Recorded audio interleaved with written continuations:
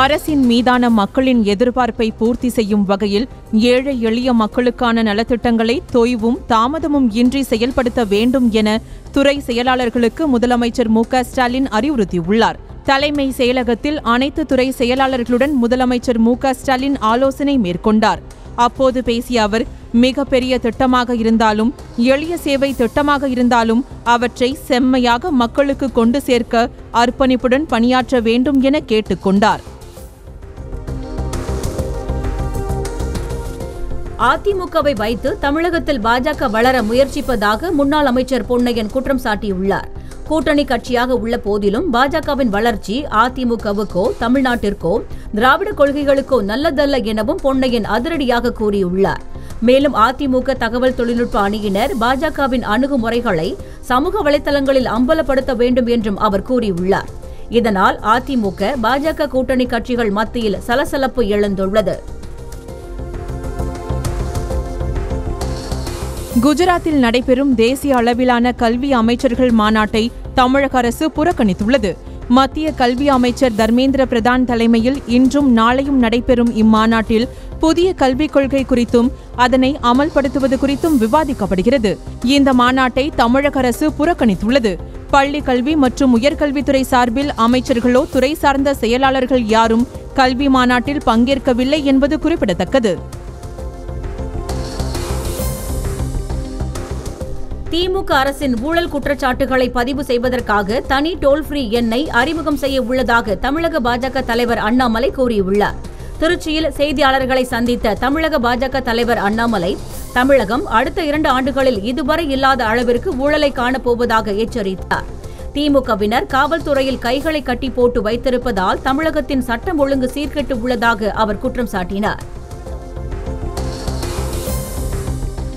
வட மாநில மாணவர்களால் கொரோனா தொற்று பரவுவதாக அமைச்சர் மா. சுப்பிரமணியன் கூறிய கருத்துக்கு உத்தரப்பிரதேச அமைச்சர் கண்டனம் தெரிவித்துள்ளார். தமிழகத்தில் தொற்று பரவல் குறைவாக இருந்தாலும் சில மாநிலங்களில் பரவல் குறையாமல் இருப்பதாக தெரிவித்த அமைச்சர் மா. சுப்பிரமணியன் அங்கிருந்து வரும் மாணவர்களால் தொற்று அதிகரிப்பதாக கூறியிருந்தார். இதற்கு உத்தரப்பிரதேச அமைச்சர் ஜித்தன் பிரசாதா கடும் கண்டனம் தெரிவித்துள்ளார். நோய் தொற்றுக்கு மாநில எல்லைகள் தெரியாது என அவர் டுவிட்டரில் பதிவிட்டுள்ளார். தூத்துக்குடி துப்பாக்கிச்சூடு வழக்கில் குற்றம் சாட்டப்பட்ட அறுபத்தி நான்கு பேர் மதுரை மாவட்ட நீதிமன்றத்தில் விசாரணைக்கு ஆஜராகினர்.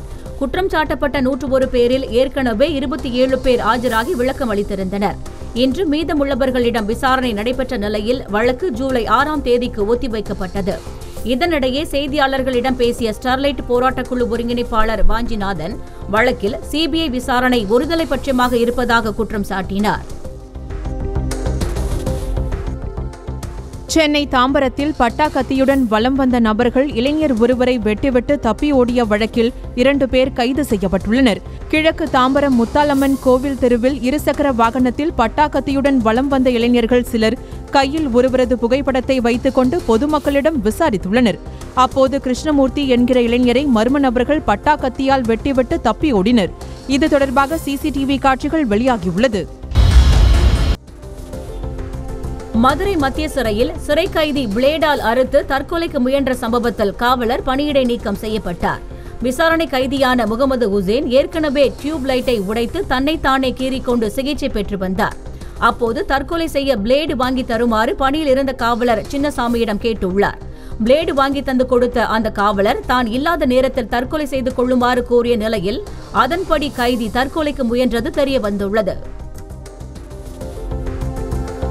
திண்டிவனத்தில் குவாரி குட்டையில் மூழ்கி ஒரே குடும்பத்தை சேர்ந்த நான்கு பேர் உயிரிழந்த சம்பவம் அப்பகுதி மக்களிடையே சோகத்தை ஏற்படுத்தியுள்ளது. பெருமுக்கல் பகுதியைச் சேர்ந்த புஷ்பா என்பவர் விடுமுறைக்கு தனது வீட்டிற்கு வந்த பேரன் கிருஷ்ணன் மற்றும் பேத்திகள் வினோதினி ஷாலினி ஆகியோருடன் கல்குவாரி குட்டையில் குளிக்க சென்றுள்ளார். அப்போது எதிர்பாராத விதமாக குட்டையின் ஆழமான பகுதிக்கு சென்றபோது நான்கு பேரும் நீரில் மூழ்கி பலியாகினர். தமிழகத்தில் பதினோரு மாவட்டங்களில் இன்று கனமழைக்கு வாய்ப்பு உள்ளதாக சென்னை வானிலை ஆய்வு மையம் தெரிவித்துள்ளது. மேலடுக்கில் நிலவும் காற்றின் திசை மாறுபாடு காரணமாக நீலகிரி கோவை திருப்பூர் தேனி திண்டுக்கல் ஈரோடு கிருஷ்ணகிரி தருமபுரி சேலம் உள்ளிட்ட பதினோரு மாவட்டங்களில் இன்று கனமழையும் திருப்பத்தூர் திருவண்ணாமலை உள்ளிட்ட பதிமூன்று மாவட்டங்களில் நாளை கனமழைக்கு வாய்ப்பு உள்ளதாகவும் வானிலை மையம் தெரிவித்துள்ளது.